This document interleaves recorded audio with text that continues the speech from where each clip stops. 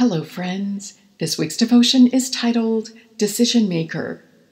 The other day, I asked God what His purpose was in sending me to a new forthcoming assignment that He revealed to me long ago. My attitude wasn't reluctant, I was just excited about it, and I wanted to better understand His perspective. The answer Holy Spirit gave to me was simply that it delighted Him. I honestly didn't expect to hear this, but I love that it was the first thing he said to me because it prompted me to realize that once again, our primary purpose for being here is to please God. As I delighted in his answer, I realized that so much of the complexity I was expecting him to share was actually behind me, and that I would experience joy in new ways forward. I was reminded of Jeremiah 29, verse 11, which always lifts my mood. The NLT version says, For I know the plans I have for you, says the Lord. They are plans for good and not disaster, to give you a future and a hope. In those days when you pray, I will listen. If you look for me wholeheartedly, you will find me. We see here that our Maker desires that we seek Him with our whole heart, to experience Him in new ways right now and forward. He has revelations to share from his heart of delight that will lift our heads and guide us onward into all he has for us. So, as I devoted more time to him, Holy Spirit revealed some deep specifics of a joyful thing that he has just ahead that filled me even more with awesome wonder.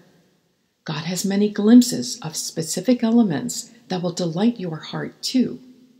This is a time of intimacy with God in which He will clarify His will and our new assignments and ignite fresh passion in us. There's a blossoming and a fullness of life and power that's just before us. It involves more than one element of life that God has been crafting together for a long time as He brings us into the manifestation of what pleases Him. Holy Spirit highlighted Ephesians 2, verse 10, which says, For we are God's masterpiece he has created us anew in Christ Jesus, so we can do the good things He planned for us long ago.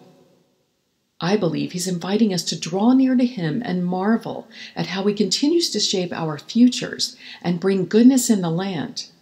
At the same time, He's sharing more understanding of what He brought us through, so we can experience even more peace, release, and closure to more fully proceed. Holy Spirit keeps showing me a vision of a relay race. In the vision, I see a baton passing that's about to occur. I see that it will manifest swiftly and very soon. Obviously, a relay involves more than one runner to get us to the victory line. So, where one runner hands off the baton and another runner receives it, I believe this is a depiction of those who are finished with their roles in our races and are handing them off to ready runners of God's choosing. These fresh, ready runners who have waited for this baton will receive their role and run with it all the way to victory. They will be ones who are strong in the Lord, established, and have much to offer with great efficiency. Holy Spirit revealed to me that He's using them for redemptive purposes in our lives to help bring us into what has seemed elusive up to now. So, God's truth is that He's leading us into His fullness of time for what He has planned for us. This includes those tasks we tried to do earlier on our own, but experienced outright rejection. God's grace is coming into place for those things, and we can even feel it coming. Holy Spirit revealed to me that He's removing the withholdings, which is depicted by the runner handing off the baton for the purpose of expansion, and that what we have to leave behind, He will put in perspective for us by revelation and by His presence.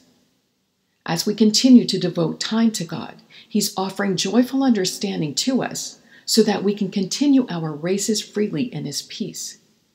Holy Spirit reminded me that the righteous are crossing over into the miraculous manifestation of His promises, big, jaw dropping ones and that faith in Him has been our bridge. In all of this process, it's important to remember that God will make everything work out according to His plan.